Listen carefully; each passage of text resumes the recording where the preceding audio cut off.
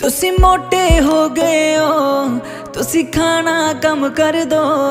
ਤੁਸੀਂ ਜਿਮ ਸ਼ਿਮ ਜਾਇਆ ਕਰੋ ਤੁਸੀਂ ਖਾਣਾ ਕਮ ਕਰ ਦੋ ਤੁਸੀਂ ਵਾਕ ਤੇ ਜਾਇਆ ਕਰੋ ਤੁਸੀਂ ਪੀਜ਼ਾ ਕਮ ਕਰ ਦੋ